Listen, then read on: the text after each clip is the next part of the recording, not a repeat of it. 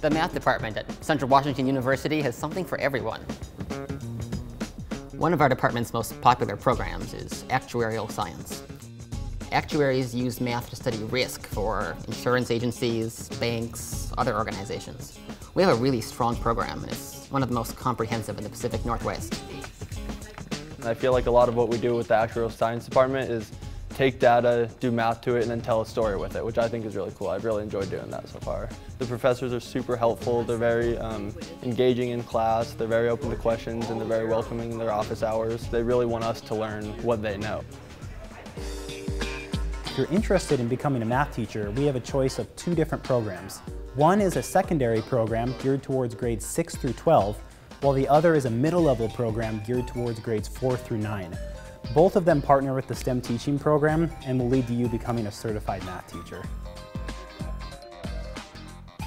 I think a uh, high school senior should definitely come here to study math because math is awesome, but also just because you're not going to get any other experience like this at any other university. Like you might be enrolled in calculus or in geometry for teachers and you'll, you'll be learning that material, but you're also learning okay, how could I use this in my classroom?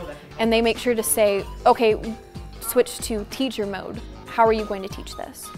You're getting way more than you sign up for and it's, it's amazing. So for students who are interested in applying mathematics in bioinformatics or in health sciences to um, biotechnology to energy, engineering, or information sciences, the applied math major would be a really good fit.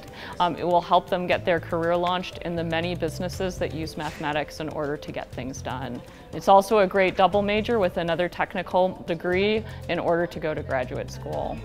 So your first years are still going to be computation based most of the time. That's your calc series, just like in high school. Um, your second year, those are going to be your introductory proof courses. So that's kind of teaching you the logistics of how to think conceptually about math. And then your third year, that's when you really start learning about all the big ideas. And I think the 400 level courses are were really my favorite as a math major because they gave me a chance to think really hard about really hard problems. Going into the math major teaches you how to think really deeply about really interesting questions. Students that choose to major in pure mathematics oftentimes choose careers in business, industry, they may go straight into research, or they may choose to go on to graduate school. Oftentimes our pure math majors decide to double major in things like economics, physics, computer science, and even music. I chose to be a pure math major mostly because when I was going through math early on, uh, what I really appreciated was the challenges of exploring a new problem and Math really just intrigued me as far as just defining the structure of a question. What makes the CW Mathematics department special is it sort of has this ability to cater to you specifically. I transferred here to Central. The math department I was in had a lot of students. I came here to Central and I felt I knew my professors, they knew me. I knew the students around me, they knew me. I was able to relate and work with people in a more meaningful way. Here, it felt like a community.